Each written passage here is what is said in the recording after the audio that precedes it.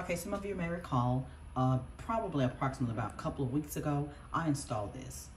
The Honeywell deadbolt with keypad lock on my uh, front entry door. And it's working well. And if you have not seen the video, I will leave a link in the description for you to go back and watch it, to go over and watch it. This is what we will be doing today. I will be removing this because I no longer need that lock right there and I'll be replacing it with this. And this is called a Camelot front entry handle set with left hand left-handed flare lever, lower half grip, satin nickel.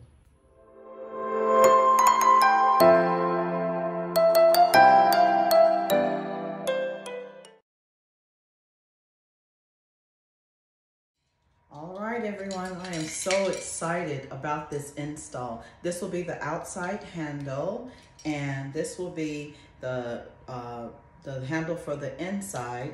And I'm so excited because I think it's gonna turn out nicely. I can't wait for you to see it, and I can't wait for you to try it and install yours. So if you're ready, I am so ready. Let's go, let's get this done. First thing I'll do is I'll remove this um, doorknob and then I'll get started on installing the Camelot handle set.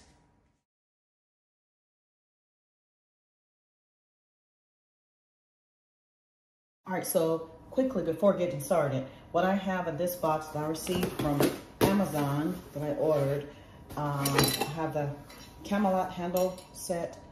So I have the handle and I have a box. I have the, of course, instructions. And have a lever and I have the latch and just some screws for the strike plate, all of that. So that's what's in this box. I'm gonna go ahead and get started. I'll start with this because this part I don't have prepared on my door yet. So don't let that frighten you. This, this is simple to do. So that's what we'll start with. We want to make sure that it's straight. And I don't know how others do it, but this is the way I, I did it. I pushed it into the hole that was already there, as far as it'll go. And then I used my leveler, and that's leveled right there. The bubble is in the center.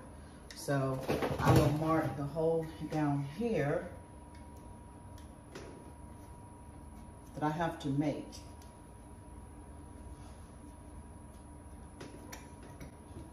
Sure you have a bit that goes, that's long enough to go through to the other side because this hole has to go through the front and out the back. And instead of starting with the larger one, I'm gonna start with the smaller one and then I'll make a, a larger hole once this is, once the pilot hole is made.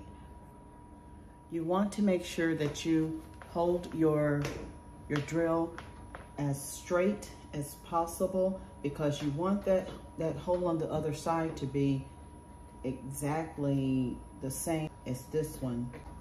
And just take your time and make the hole. Okay, the bit that I will be using is a 5 16th. Drill that hole.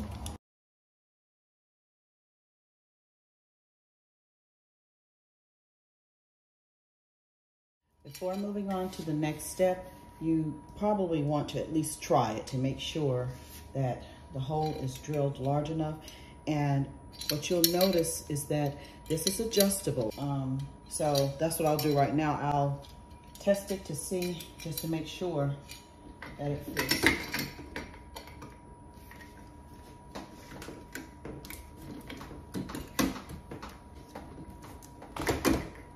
Yes it fits. So that's how it'll be. So I'll take it out. And next I will, I'll enter the, I mean, I'll, put, I'll insert the latch. Some doors will require this. This is the latch and it comes with a faceplate And some doors require a drive-in instead of the faceplate.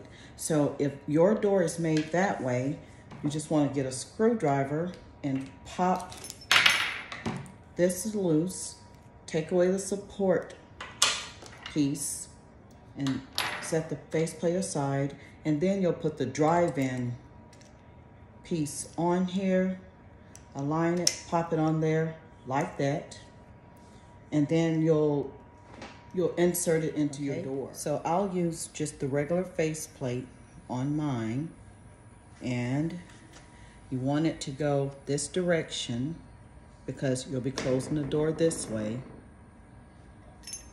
and then just secure it in place and take the smaller of the few screws that are in there. Have two, two large ones, two large ones and four smaller ones. And you just screw it in with the screwdriver. Secure it in with the screwdriver. And now, I'll attach the handle here, the outside handle, by aligning the holes that are inside, pressing it, pushing it through, and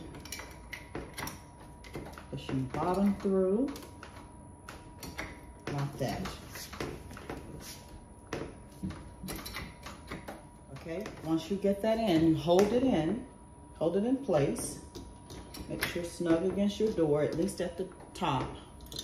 And you wanna put your doorknob level, lever, lever on. And we'll do that by aligning it with this one. To use the two larger of the other screws that are flat on top, if that helps. So they're larger than the other screws. So we want to use those to put at the top and the bottom.